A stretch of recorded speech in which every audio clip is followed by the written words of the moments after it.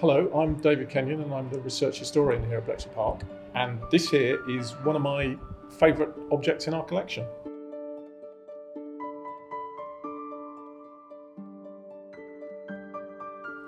This is uh, an Enigma machine, fairly obviously, but unlike so many of the machines we have in the collection, this one is in very poor condition because it was recovered uh, as an archaeological object from a pigsty in southern Poland, as far as we know.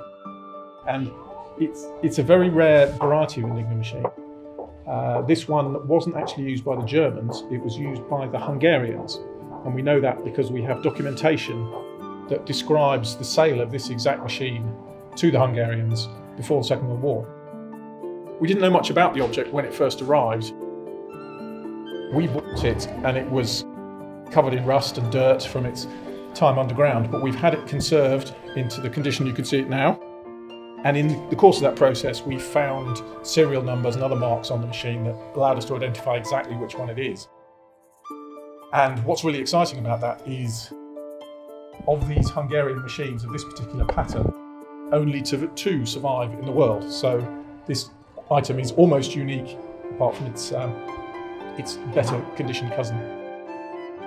You might ask why is a machine that's got half its keys missing and no lamp board and everything else would be more interesting than one of the ones in the collection that's in better condition. But for me, especially as before I came to Bletchley, I was an archaeologist.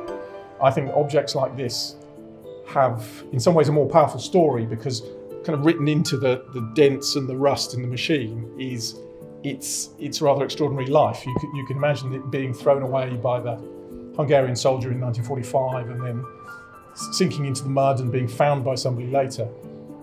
And that gives it a, a layer of kind of excitement that you don't get from a good condition object.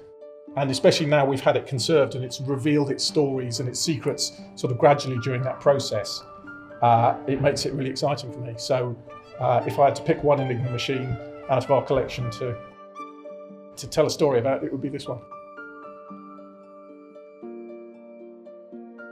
To uncover even more secrets from Bletchley Park, subscribe to our YouTube channel. And to discover more, explore the links in the description below.